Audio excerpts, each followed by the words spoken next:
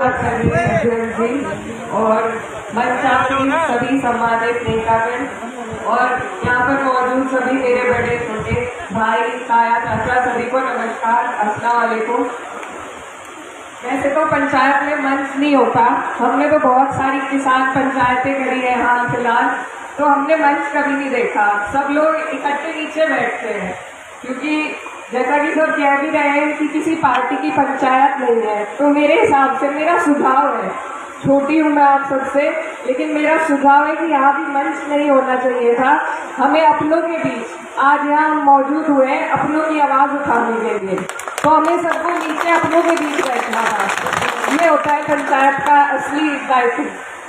बाकी मैं सिर्फ़ ये कहना चाहती हूँ कि ये जो पंचायत है, सर्व समाज की पंचायत है, और यहाँ पर छत्तीस बिरादरी है सभी धर्म के लोग मौजूद हैं यहाँ पर। ये हमारी जन समस्याओं को लेकर एक पंचायत आयोजित की थी।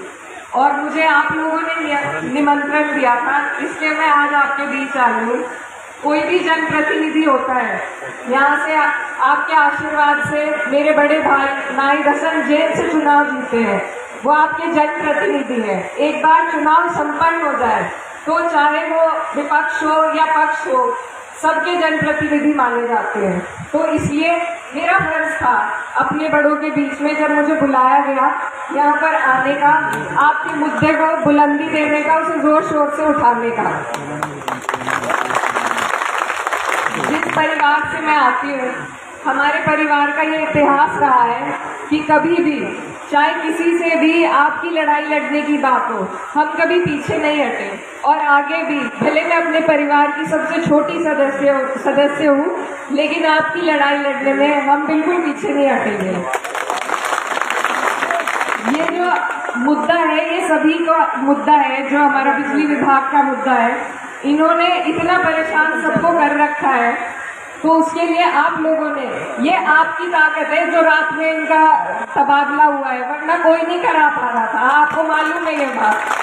तो आपको अपनी ताकत समझनी पड़ेगी, आपको अपनी एकजुटता की ताकत समझनी पड़ेगी।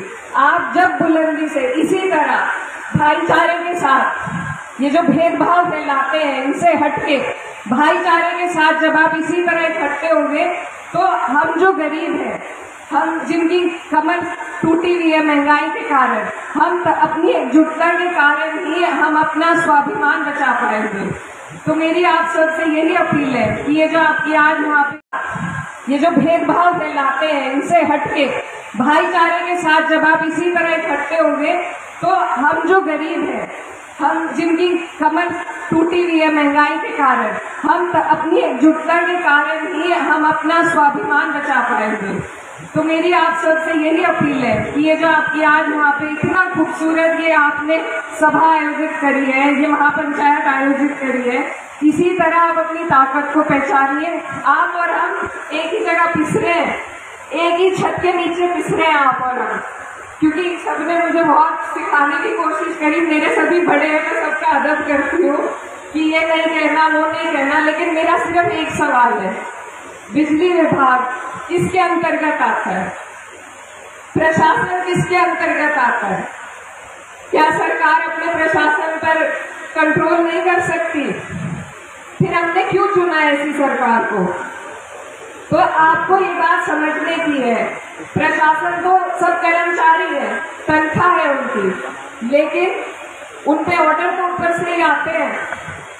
तो ये बात समझने की है। हमारी अगर कोई कमर तोड़ेगा इसी तरह आगे भी पंचायत करेंगे और मैं और मेरा परिवार आपसे ये वादा करते हैं कि आप लोग जब भी चाहोगे, हम इसी तरह आपके बीच मौजूद रहेंगे।